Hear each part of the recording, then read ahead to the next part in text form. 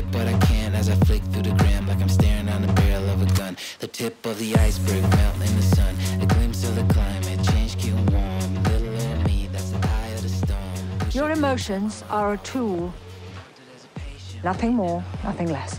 They're a power source. You've been taught to control them. That isn't always the best option. In combat, you'll need to rely on instinct.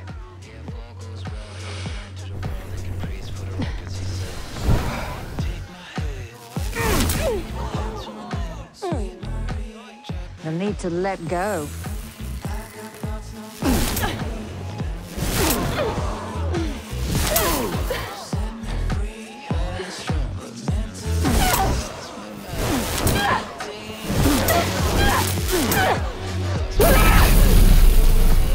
That's when you find true power.